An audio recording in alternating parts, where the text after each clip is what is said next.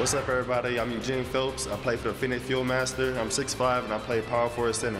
I went to school at Long Beach State. My major was communications. At first, it was criminal justice, but it was just way too hard, so I had to switch it. When I went to college, everybody thought I was like cocky, and it, I wasn't cocky. I was just quiet. I didn't talk to anybody or anything, you know. So the communication major made me like speak more and become a more outgoing person. So it helped me out a lot. My favorite Filipino food is uh, adobo chicken. It's by far the best chicken ever. Uh, you can expect from Eugene Phelps just a hard-working player, you know. Whatever it takes to win. If I have to rebound, if to play defense, score, I'm just here to win, you know. That's my only job to win.